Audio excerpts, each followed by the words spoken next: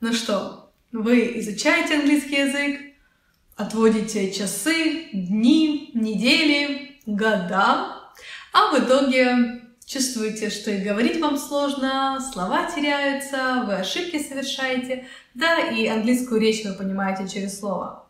Конечно, обидно. То, что, казалось бы, можно изучить за год, растягивается на года без особого прогресса, и в итоге вы все равно не чувствуете себя комфортно. И у меня была такая ситуация, та же история, я изучала английский язык, у меня ушло 10 лет перед тем, как я смогла спокойно, свободно на нем заговорить.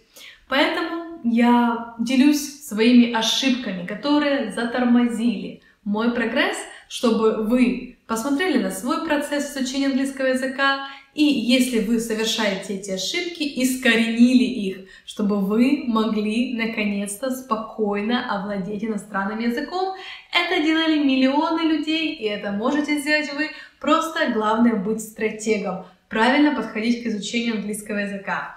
И об этом и пойдет видео. Какие ошибки я совершила, которые были не стратегическими, которые очень глупые и замедлили мой прогресс.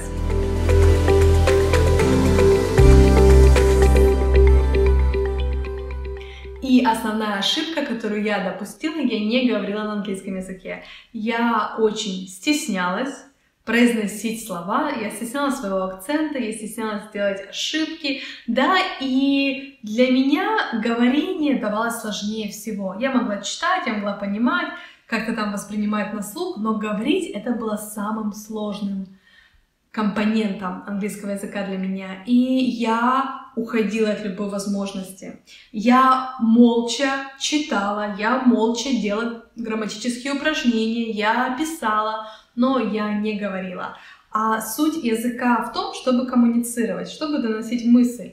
И в итоге у меня был такой книжный английский язык, а когда дело доходило до практики, я терялась, я не могла его использовать, и, по сути, смысл вообще его изучать.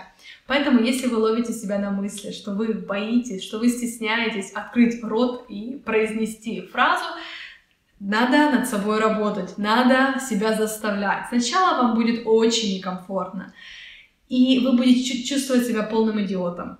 Но если вы не поленитесь, если вы не испугаетесь, а когда там пойдете всякие speaking club, знаете, разговорные клубы, или со своими друзьями по приколу попытаетесь немножечко поговорить, вы будете раскрепощаться, и вы уже не будете так стесняться своего акцента, своих ошибок, вы будете говорить, и это важно, это самое ключевое свойство языка — говорить.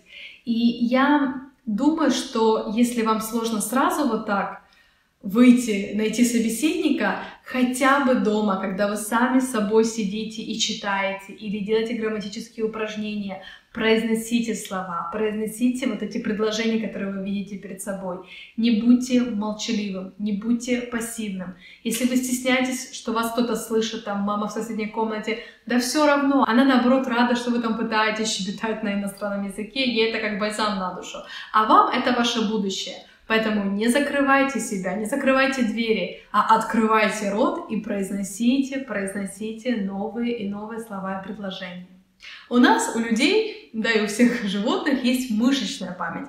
И когда вы вот произносите слова, вы будете тренировать свой речевой аппарат, и порой вы уже на автомате будете говорить фразы. Не потому, что вы думаете, какая конструкция верная, а потому что вы уже проговорили несколько раз эту конструкцию, и она у вас уже просто от зубов отскакивает.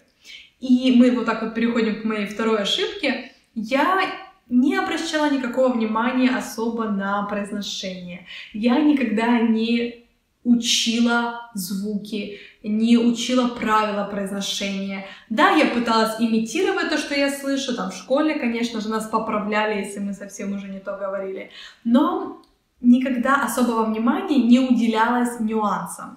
И то, что сейчас я понимаю и слышу, я слышу огромную разницу между словами beach и beach. Когда я была в школе, в университете, для меня это было одно и то же, но какая разница? Сейчас я понимаю, что это существенная разница, и вы не хотите ошибаться в таких словах.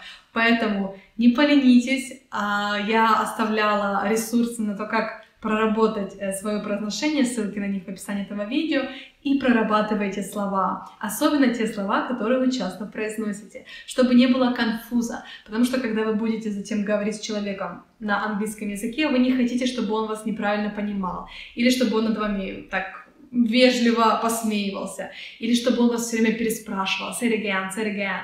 Это annoying, это раздражает, поэтому отведите время на то, что вы просто прорабатываете произношение и особенно ударение. Вам не обязательно иметь этот американский акцент, когда вы звучите, ну просто там, не знаю, как Дженнифер Энистон, и вы прям чувствуете себя такой голливудской звездой. Возможно, это ваша цель, и вы можете ее достичь, но если мы говорим о коммуникации, важнее говорить так, чтобы вас понимали. А для этого правильное ударение, правильные звуки и открываем рот. Потому что у русскоговорящих есть такая привычка держать ротик закрытеньким, так бубнить, особенно когда вы стесняетесь своего акцента.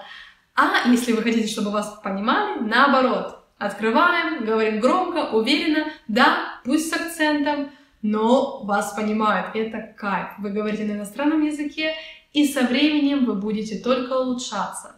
Надо над собой работать. Следующая ошибка заключается в том, как я подходила к изучению новых непонятных слов. Я читала учебник, видела незнакомое слово, выписывала в словарик, выписывала перевод, все повторяла словарик, я знаю слово. Но в итоге, когда надо было слово употребить, я забывала, или я произносила неправильно, или не в нужном контексте употребляла. Поэтому я методом проб и ошибок пришла к той методике, которая для меня работала. Я о ней уже рассказывала и оставляю ссылку на видео в описании. Посмотрите, и я думаю, она вам тоже приглянется, потому что она реально прорабатывает словарный запас. И то, что вы где-то учили, то, что было в пассивном, где-то там знании, переходит в активный запас, в активное потребление. А это, собственно, и есть цель того, зачем мы вообще учим слова. Сейчас во время YouTube очень тяжело потерять фокус. У вас есть слова, которые вы считаете важными для изучения, затем вы заходите на YouTube и вас бомбардируют ролики, к примеру, там 20 самых популярных слов в 2020 году. Вы смотрите ролик, вам кажется, что вы изучаете язык, конечно же. В итоге вы его посмотрели, свое время потратили, слова какие-то услышали, а смысл? Особенно, когда мы говорим о таких вот новых слов в каком-то там году. Да, эти слова появляются, но они не так распространены. Я спрашиваю своих э, многочисленных носителей языка, канадцев, американцев, новозеландцев, австралийцев, знаете ли вы это слово? Э, и часто в ответ просто конфуз, мол, нет, потому что эти все слова в основном тинейджеров, там, знаете, вот возраст аудитории ТикТока.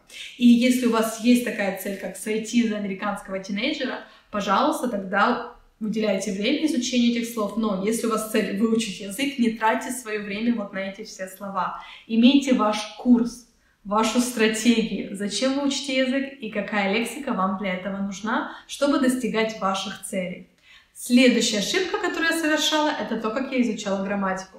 Я покупала книжные издания Оксфорда, Кембриджа, мне нравятся книги, и я проходила от корки до корки все правила, все упражнения, а в основном эти упражнения это тесты или вставь слово, и чувствовала такое некое удовлетворение, что да, я изучила правила. Но на практике, затем, когда я уже на работе начинала писать имейлы на английском языке, я была свидетелем того, насколько плохо я пишу, насколько ошибок я совершаю. Да, я изучала правила по нескольким учебникам, да, я могу рассказать про present perfect continuous, ну и что с того? Когда дело доходит до коммуникации, бизнес-коммуникации, мне надо связать present simple, past simple, present perfect. На этом моменте я поняла, что сколько времени я потратила.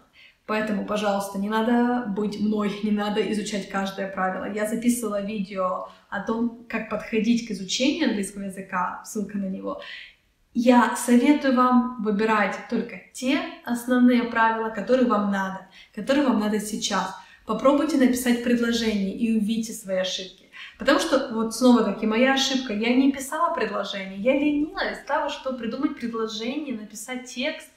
Ой, это как-то совсем сложно. Я лучше просто тестики попрохожу, как-то вот оно вроде как больше экшен, да, интересней. И я потом могу в ответиках посмотреть и получить удовлетворение, что да, английский язык выучен, Нет, надо все-таки не идти по такой простой дорожке, а искать сопротивление и писать, писать, писать. Так вы лучше всего прокачаете свою грамматику. Намного лучше, чем просто изучать учебники. И другой момент, о котором я уже упоминала в этом видео, проговаривайте. Не просто молча изучайте эти правила и делайте упражнения, а проговаривайте, читайте вслух то, что вы видите перед глазами.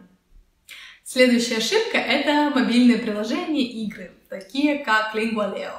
Я не могу сказать, что это прям вообще ошибка, но забирает очень много времени, ты играешь, ты чувствуешь себя, мол, ты делаешь прогресс, но в итоге, на самом-то деле, потому что снова-таки вы не говорите, вы не мыслите активно, а более пассивно, да, вы не сами создаете, как это было бы в жизни, в реально, когда вы говорите с носителем языка, а вы просто реагируете пассивно на то, что вам показывается на экране, и в итоге, да, вы изучаете слова, бесспорно, вы изучаете какие-то конструкции, вы их тренируете, а, но это все и остается на экране телефона. Поэтому такие приложения, как Lingualeo, Duolingo, они хороши, но если ваша цель заговорить, все, что вы видите на экране, вы проговариваете, и порой вы просто кладете телефон, экраном вниз и пытайтесь повторить. А что я только что вообще делал? Какое слово я выбирал? Для какого предложения? И вы удивитесь, насколько вы вообще не помните, что было. Просто проверьте себя. Следующая ошибка, которую я совершала и которая замедлила мой прогресс в понимании речи на слух, это то, как я смотрела американские сериалы. Да, я смотрела их на языке оригинала но с субтитрами. Я очень долго смотрела с русскими субтитрами, что вообще, по сути, никак не тренирует знание вашего языка. И затем, когда я перешла на английские субтитры, я очень долго и оставалась вот на этой стадии. Я смотрела, я слушала, но потому что я все-таки больше читала. Затем, когда я уже отключила субтитры, я поняла, насколько я теряюсь. Поэтому, если вы сейчас смотрите сериалы с субтитрами, лучше посмотрите эту же серию дважды. Сначала с субтитрами, затем без. И знайте, что ваша конечная цель — это прийти к просмотру без субтитров. Если вы вот так попробуйте сейчас без субтитров, вы поймете, насколько вы привыкли читать, насколько а, ваше зрение берет весь поток информации, восприятия на себя, и ваш слух особо не тренируется. Проверьте. И суммируя все свои ошибки, хочу сказать, что я не была стратегом. Я поглощала всю информацию, которая поступала ко мне. Это учебники, разная литература, это все грамматические правила, это все незнакомые слова, которые попадались на моем пути. И я пренебрегала произношением, говорением, восприятием на слух. И вот без методики, без правильного подхода я и замедлила свой прогресс. Поэтому я хочу, чтобы вы сейчас сели и подумали, какая у вас цель. И не просто цель переехать за границу или начать зарабатывать круглые суммы онлайн на зарубежных сайтах, а более конкретно. Мне надо уметь написать имейл, ответ заказчику, когда у него возникает вопрос насчет там какой э, цвет фона выбрать для презентации. Вот такого какого-то плана конкретней. Если вы уже сейчас начинаете пытаться общаться с иностранцами, обращайте внимание на то, что вам дается сложнее всего. То, когда вы краснеете, когда вы теряетесь, когда вы чувствуете себя идиотом. Замечайте такие моменты. Эти моменты — это как маленькие сокровища, потому что они показывают вам, да, вот это я должен практиковать сейчас, на это я должен отвести свое драгоценное время и энергию, потому что это принесет мне наилучшие результаты и поможет достичь моих целей. Поэтому, пожалуйста, будьте стратегом, изучайте только то, что вам важно в настоящем времени — то, что вы можете практиковать сейчас. Спасибо за просмотр. Если видео было полезным, ставьте лайк, подписывайтесь на канал. Успехов вам в изучении иностранного языка и до новых встреч! Дерзайте!